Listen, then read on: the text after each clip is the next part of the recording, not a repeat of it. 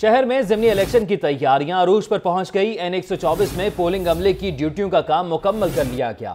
اسی حوالے سے مزید تفصیلات جانیں گے۔ ارشد علی سے۔ ارشد علی، بتائیے گا ضمنی الیکشن کی تیاریاں کس قدر جاری ہیں؟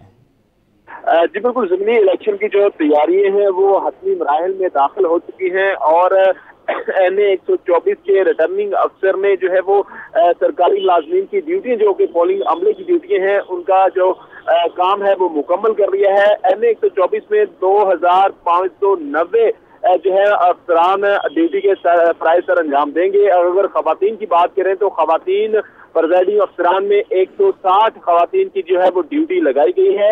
این اے ایک سو چوبیس میں جنرل ڈیوٹی کرنے والے ملازمین کی ہی جو ہے ضمنی الیکشن میں ڈیوٹیاں لگائی گئی ہیں۔ اور اس سے قبل جو ہے وہ چار سو پندرہ جو ہے وہ پولنگ اسٹیشن سے یہاں پر قائم کیے گئے ہیں۔ اور چار سو پندرہ پولنگ اسٹیشن پر جو ہے وہ چھبیس سو کے قریب جو ہے وہ عملہ ڈیوٹی سر انجام دے گا